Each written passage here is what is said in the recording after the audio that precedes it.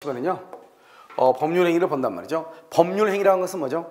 의사 표시를 필수 불가결의 요소라는 것이죠. 그래서 여기서 이제 중요한 것은 여러분이 뭐를 알아야 되냐? 일정한 법률효과의 발생을 목적으로 하는 하나, 하나 그러면 뭐죠? 단독이죠. 그러면 어, 수개, 수개는 뭐죠? 두 개면 뭐죠? 계약이죠. 두 개 이상이 뭐죠? 합동행위죠. 그래서 하나 또는 수개의 의사표시, 의사표시를 불가결의 요소로 한다. 그렇다 해서 의사표시만 있으면 되는 것이냐? 그건 아니란 말이죠. 우리가 법률 행위가 성립하려면 여러분 어떻게 해야 돼요? 의사 표시만 있으면 안 되는 거죠. 이런 뭐가 있어야 돼요? 의사 표시, 당사자 목적도 있어야 돼. 그러니까 만약에 우리가 법률 행위가 성립하려면 의사 표시는 필수 불가결의 요소로 하지만 의사 표시만 있으면 되는 것이 아니고 뭐도 있어야 돼? 당사자와 목적도 있어야 되고 법률 행위는 어디에 속한다? 법률 행위는 법률 요건에 속한다 이 말이죠. 법률 효과가 아니고 법률 요건이다 이런 말이에요. 그리고 누가 원하는 대로 표의자가 원하는 대로 표의자가 원하는 대로 일정한 사법상의 효과 그러니까 우리가 법률의 규정은 법이 법률 효과를 규정하고 있지만 법이 여기 보면 법률 행위는 의사표시를 필수 불가결의 요소로 하기 때문에 당사자가 원하는 대로 표의자가 원하는 대로 법률 효과를 발생시키는 것. 그것을 우리는 뭐란다? 법률 행위다. 이렇게 얘기하죠. 자, 법률 행위의 종류가 있죠. 법률 행위 종류는 의사 표시의 수와 방향에 따라서 단독과 계약과 합동 행위로 이루어지죠. 여기서 단독 행위는 상대방이 있는 것과 상대방이 없는 것 두 가지로 나뉘죠. 상대방 없는 것은 유원, 유종, 재단범위, 설립 행위, 소유권의 포기, 점유권의 포기 이런 것들이 있고요. 그 다음에 상대방 있는 경우는 면제하고 뭐하고 상계, 그 다음에 동의, 그 다음에 추인하고 철회하고 해제, 해지, 취소 이런 것들이 있죠. 알겠죠? 이것을 우리는 상대방 있는 단독행위다 이렇게 얘기하고 이 두 가지를 비교해서 형상시험이 나오죠. 작년 우리 시험에 나왔던 거고요. 그 다음에 단독행위는 일방행위란 말이에요. 일방이란 말은 일방이란 말은 뭐냐? 상대방의 동의를 요하지 않는 것이야. 단독행위는요. 그렇기 때문에 원칙적으로 조건이나 기한을 붙일 수가 없어. 그러니까 만약에 해제의 의사표시는 조건을 붙일 수 없고 상계의 의사표시는 조건을 붙일 수가 없는 거예요. 그러면 조건을 붙이려면 어디에 붙인다? 조건? 조건은 우리가요 계약, 계약에다가 조건을 붙이는 거예요. 그래서 현상 광고죠. 그런 현상 광고는 유상 편목약이죠. 이 현상 광고에다가 조건을 붙일 수가 있는 것이에요. 단독 행위는 무엇을 붙일 수 없다?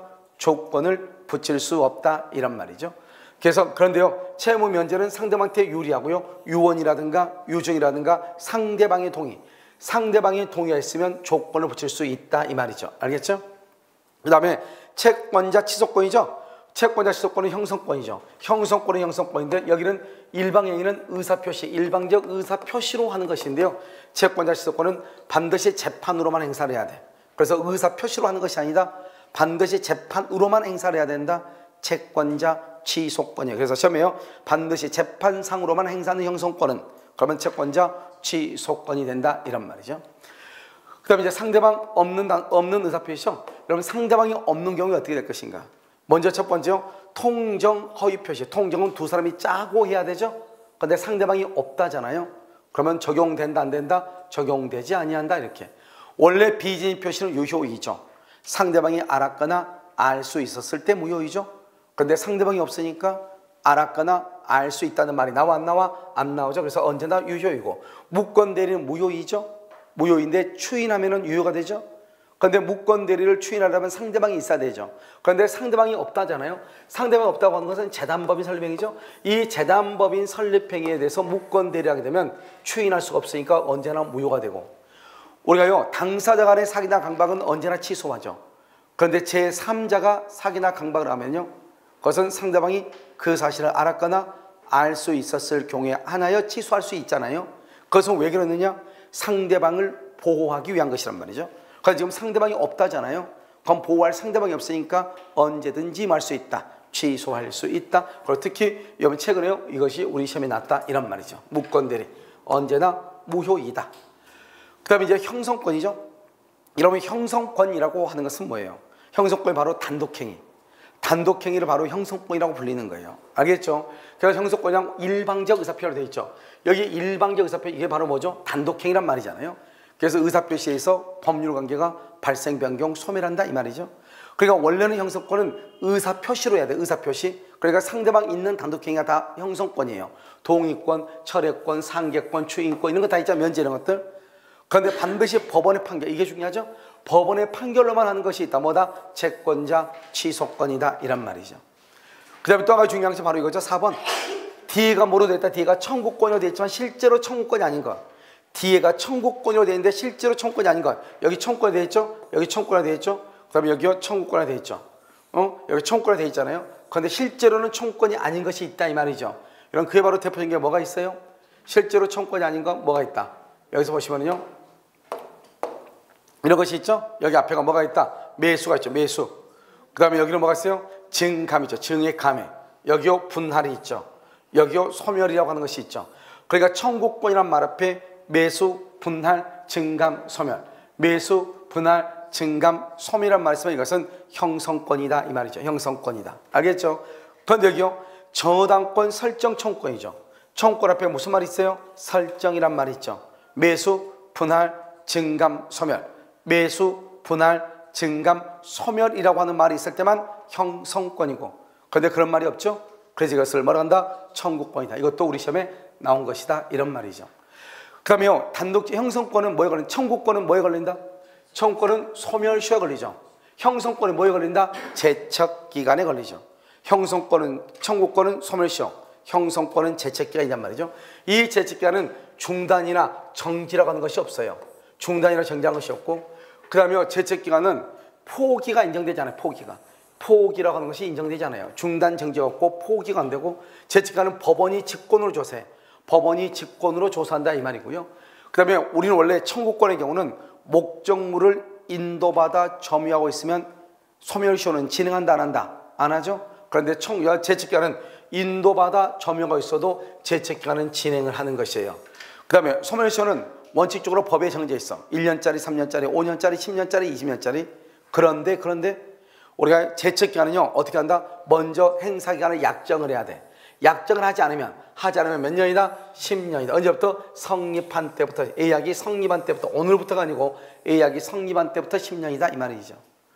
이것과 이제 비교가 되는 게 우리가 이제 소멸시효라고 하는 것은 중단이나 정지라는 제도가 있고 소멸시효는 시효 이익을 포기할 수가 있고 소멸시효는 당사자가 주장을 하고 소멸시효는 목적으로 인도받아 조명하고 있으면 소멸시효는 진행한다 안 한다 안 한다 이렇게 얘기해. 그러니까 여기 있는 것을 그대로 우리가 갖다 쓰면 되는 거예요. 알겠죠? 소멸시효는 뭐라고? 소멸시효라는 것은 중단이나 정지가 인정이 되고 소멸시효는 그 다음에 포기가 뭐가 되고 인정이 되고 소멸시효는 그 다음에 누가 입증한다? 당사자가 입증을 하고 당사자가 입증하고 여기 목적으로 인도받아 조명하고 있으면 진행한다 안 한다? 진행하지 않는다 이런 말이죠. 이게 이제 소멸시효하고 제척기간하고 차이점이다 이런 말이에요. 아시겠죠? 여러분 그것을 정확하게 기억을 하시고 그 다음에 우리가 이제 소멸 뭐죠? 법률행위 종류라는 것이 시험에 나올 수 있어요. 그럼 이런 법률행위 종류라고 하는 것을 보면 어, 첫 시간에 우리가 보면 어, 청약과 승낙에서 계약이 이루어지죠. 그 계약을 법률 요건이라고 하죠. 이러한 법률 요건 원인에 의해서 대금하고 대금하고 등기를 청구할 수 있는 권리와 의무가 발생하죠. 그것을 법률 효과라고 하는 거잖아요. 그러니까 우리가 매매 계약을 체결하게 되면 의무를 부담하는 채무 부담 행위가 있다 이 말이죠. 그래서 우리가 의무를 부담한다. 의무 부담행위 이것을 우리는 다른 말로 뭐라 한다? 채권행위다. 다른 말로 채권행위를 다른 말로 뭐라 한다? 채무행위죠. 똑같은 거죠. 채권의 반대가 뭐죠? 채무죠. 그래서 채권행위란 말은 채무 부담행위, 의무 부담행위다 이렇게 얘기하죠. 이 의무 부담행위는 다 뭐라 한다? 그래서 채권행위는 다 매매, 매매 교환 증여 이렇게 계약, 매매 교환 증여 이 계약을 다 뭐라 한다? 채권행위라고 그래. 그래서 여러분 시험에요. 다음 중에서 채권행위가 아닌 것은 이렇게 시험에 나올 수 있단 말이죠. 1번 매매, 2번 증여, 3번 교환, 4번 증여, 임대차, 5번 전세권 설정 이렇게 나올 수 있어. 전세권 설정은 좀 이따 보면 알겠지만 이것은 물권행위로서 처분행위란 말이죠. 알겠죠? 그래서 매매, 교환, 증여 이런 것들 채권행위다. 그 다음에 이 채권행위는 무권리자도, 무권리자도 다 할 수 있다 이 말이죠. 우리는 타인 소유물에 대한 매매 계약은 유효이다, 무효이다, 유효이다. 공유자가 3명인데요. 한 사람이 공유물 전부에 대해서 매매 계약을 체결해. 매매 계약을 체결해. 그 매매 계약은 유효이다, 무효이다. 유효이다. 계약 자체는 유효이다. 알겠죠? 그래서 유효이다 이렇게 얘기해. 그런데 처분행위를 원한다.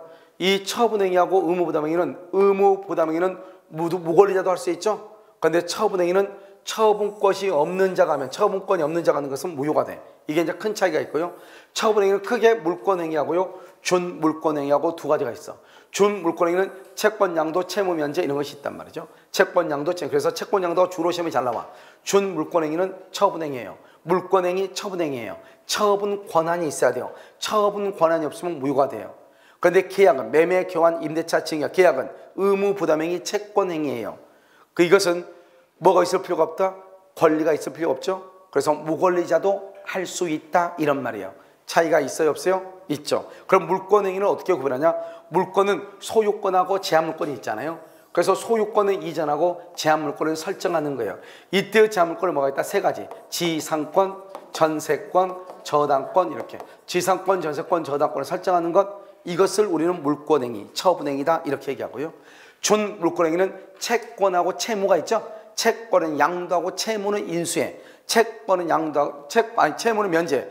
채권은 양도되고 채무는 면제. 알겠죠? 면제. 그래서 채권 양도 이 두 가지가 뭐다? 준물권행위다. 준물권행위다. 이렇게 얘기를 하는 거예요.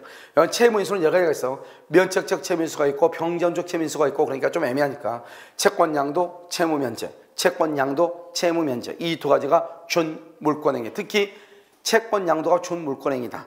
처분행위다. 처분 권한이 있어야 된다. 이렇게 얘기하는 것이고요. 이것뿐만 아니라 이제 뭐가 또 시험에 나올 수 있냐? 여러분 여기서 출연행위라고 하는 것이 나올 수 있죠. 출연. 이런 출연행위하고 비출연행위가 나올 수 있어. 이런 비출연행위의 대표적인 게 바로 뭐다? 비출연행위가 가장 대표적인 게 뭐예요? 그럼요. 그것은 대리권 수여예요. 대리권. 여러분 대리권을 수여했다 해가지고 대리권을 수여했다 해가지고 되는 것은 아니잖아요. 우리가 출연행위라는 것은 뭐예요? 봐봐. 출연행위라는 것은 나의 재산은 다운되고 상대방 재산은 업돼야 돼. 그러니까 대표적인 말이 뭐죠? 매매죠. 매매하고 증이란 뭘까요? 매매는 유상행위죠. 매매는 유상이고 증여는 뭐다? 증여는 무상이죠. 증여는 무상이지만 봐봐. 만약에 누군가가요 내 집을 공짜로 줬어. 그럼 내 재산은 다운되고 상대방 재산은 뭐가 돼요? 업되죠. 그래서 무상행위는 무상행위는 뭐가 된다? 출연행위가 되는 거예요. 우리가 매매를 해서 등기를 해주죠. 등기해주면 내 재산은 다운되고 상대방 매수인 재산은 업되죠. 그래서 매매라고 하는 유상행위는 출연행위고 증여라고 하는 무상행위도 출연행위다 이 말이죠. 그러니까 유상행위는 출연이고 증여의 무상행위는 비출연이다. 그러면 된다 안 된다? 안 된다. 이것이 또 중요하고요. 그 다음에 비출연은 대리권 수여.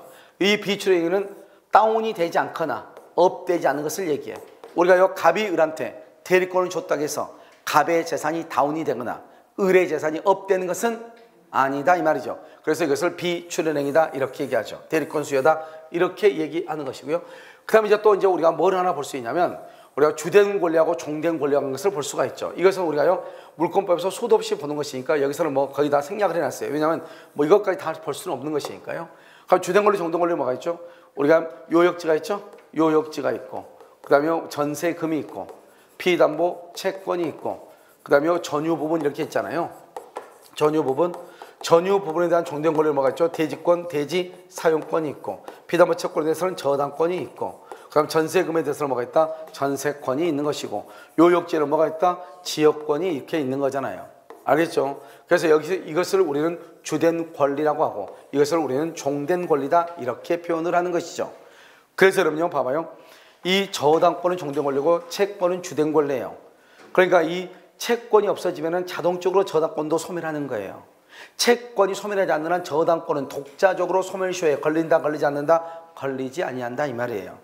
그러니까 종된 권리는 주된 권리와 분리해서 양도할 수가 있다 없다 없다 이렇게 표현하죠. 그래서 주된 권리, 종된 권리 이렇게 하고 저당권은 피담보 채권에 대해서 종된 권리다 그래야지. 저당권이 주된 권리다 그러면 큰일 나는 거예요. 그래서 주된 권리, 종된 권리 그다음에 또 뭐가 있다? 출연행위, 비출연행위 그다음에 또 뭐가 있어요? 의무 부담행위, 처분행위가 있다.